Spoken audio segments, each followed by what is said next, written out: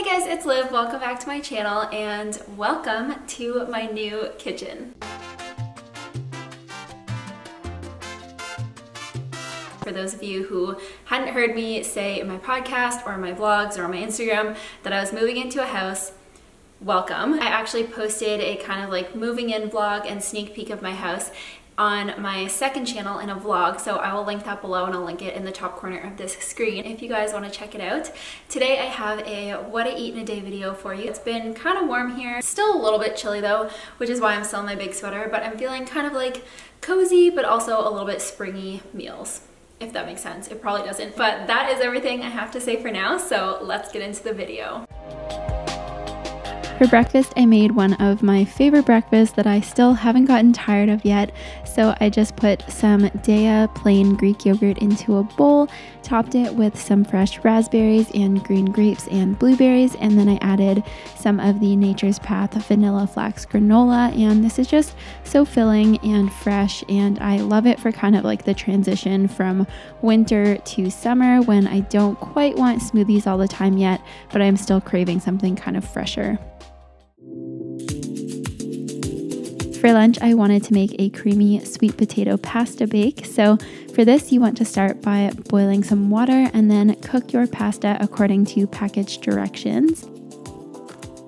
Then, while that's cooking, you can peel and chop a sweet potato. And I just chopped mine into kind of small cubes so that it would cook quicker. And then you just want to cover it with some water until it is just covered and boil that until it's fork tender. So while that's boiling, you can chop some veggies and you can use whatever vegetables you have in your fridge. Today I used some red bell pepper, green onion, and mushrooms. And then you just want to cook them in a frying pan with a little bit of olive oil until they're kind of browned and softened like this.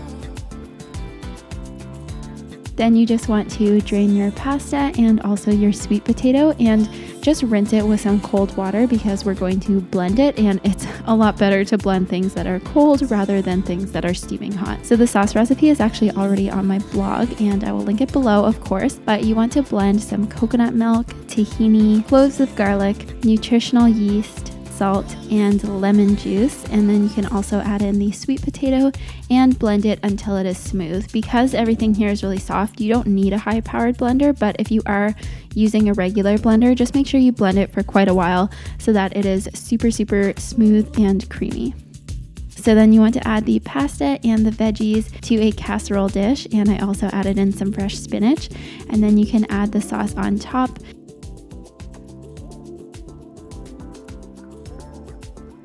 And then at the last minute, I also wanted to add some mixed herbs and some smoked paprika just for extra flavor.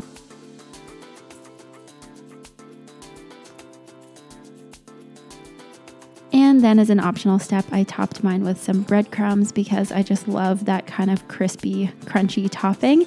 And then you just want to bake that in the oven until the top is golden brown. And I actually just put the oven on broil so that it cooks the top pretty quickly. And then when it was done, I just let it sit for about five minutes and then served it up.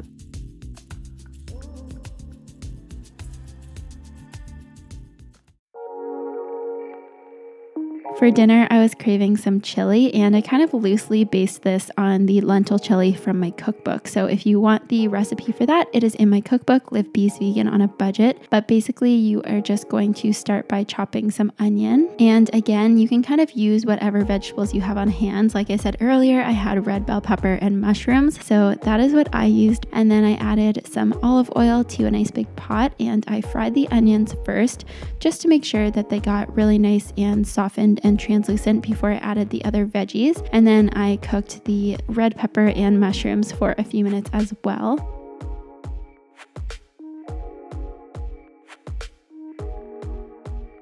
Then you want to add in your cans of tomatoes, your vegetable broth,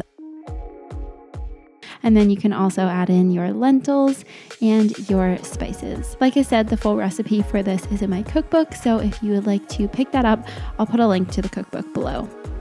I also wanted to make a batch of my cornbread to go with it. And the recipe for this is on my YouTube channel. I'll link it below, of course, and in the top corner of the screen. But as a recap, you want to add your flour and cornmeal to a bowl, followed by some sugar. And I used a mix of cane sugar and coconut sugar.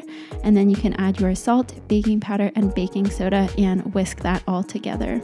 Then you want to add in your almond milk and apple cider vinegar mixture, egg replacer, and the melted butter, and stir that until it forms a batter. In my cornbread video, I baked it in a pan, but I actually wanted to make like little cornbread muffins for this.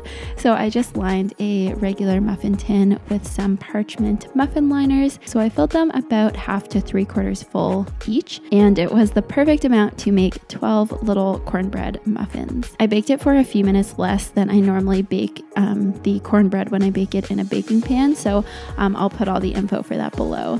And then I actually decided to add two Beyond Meat Burger veggie patties to the chili. This looks so scarily like real beef, but I promise it's vegan. And I just kind of like fried that up and then threw it into the chili once it was done and stirred it through. And then I also added some fresh spinach at the end.